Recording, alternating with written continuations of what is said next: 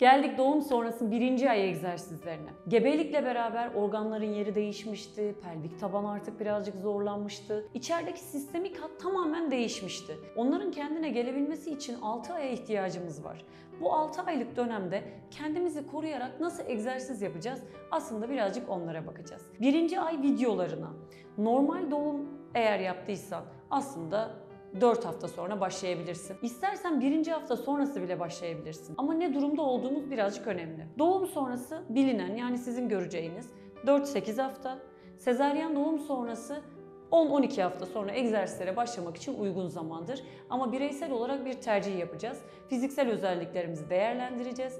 Durum nasıl? Basic egzersizler yapılabilir mi? Değerlendireceğiz ve çalışmalara başlayacağız. Hadi gidelim bakalım. Doğumun şekli fark etmeksizin yapacağımız hareketleri sıralayacağız şimdi. Doğumdan sonra nasıl zaman bulacağım, ne yapacağım diye hiç düşünmenize gerek bile kalmayacak. Çünkü basic egzersizlerle sadece 5 dakika kendimize zaman ayıracağız.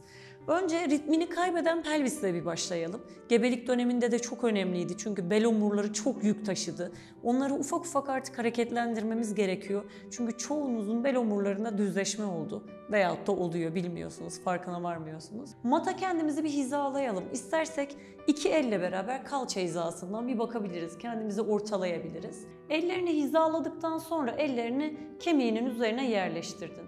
Yavaşça aşağıya doğru yönlendirdin. Nefes aldın burada. Nefesini boşaltarak yukarı doğru yönlendir. Çok büyük bel oyuntularına gerek yok. Özellikle dikişin varsa zorlanmaz ama abartmamızın bir anlamı yok yani. Yumuşakça çevirdin. Nefesini boşaltarak döndürdün içeri. Tekrar sayılarını sürekli yanda zaten görüyor olacaksınız. Önceki videolardan alışık olanlar da bilirler. Çevirdin nefesini boşalttın. Artık burayı sıfırladık basmak gibi değil, abartılı bir basma değil ama kendi doğal duruşuna bıraktık. Altında bir boşluk olmasın sadece. Kollarını yukarı kaldırdın.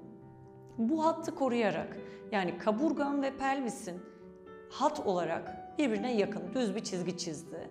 Kollarını yukarı kaldırdın. Geriye doğru götürürken kaburgan fre vermesin, belinin altı açılmasın.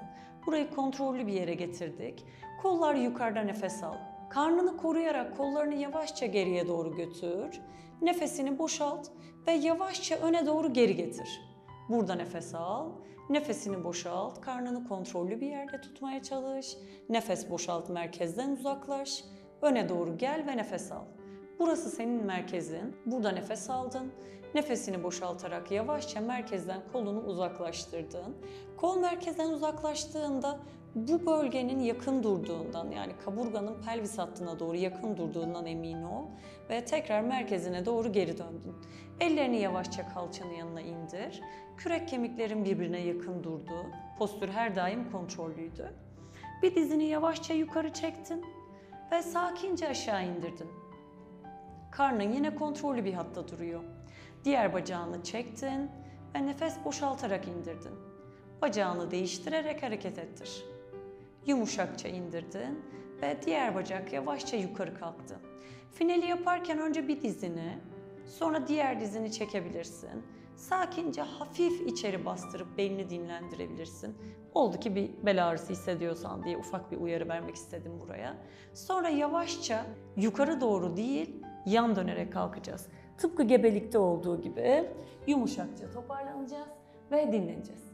Dağılan şeyleri toparlamak için birazcık zamana ihtiyacımız var. Çünkü önemli bir süreçten çıktık. O zaman bize ufak ufak egzersizleri yerleştirmek için alan tanıyacak. Biz bu arada kafamıza çok şey takmadan, gün içinde 5 dakika 10 dakika zamanlar ayırarak sakin sakin toparlanmaya odaklanacağız. Doğum sonrası ikinci ay videolarında görüşmek üzere. Hoşçakalın.